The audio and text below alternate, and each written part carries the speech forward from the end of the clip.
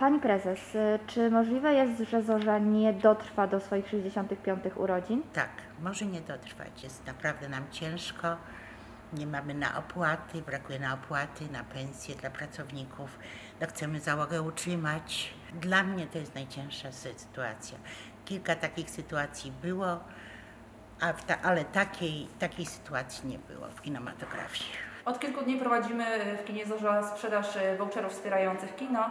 E, Są one dostępne w kasie kina. Oczywiście kino można również e, wspierać online przez stronę Wspieramy Kina Polskie.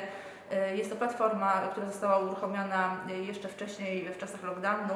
W momencie zakupu vouchera w kasie kina e, jest, to, jest on ważny przez rok od momentu zakupu na dowolny seans filmowy, również weekendy.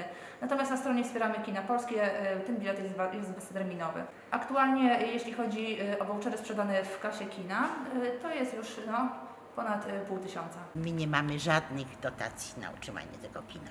Y, Ale jesteście kinem studyjnym czy komercyjnym w tym momencie? Jesteśmy kinem studyjnym, ale kina studyjne się muszą też same utrzymać.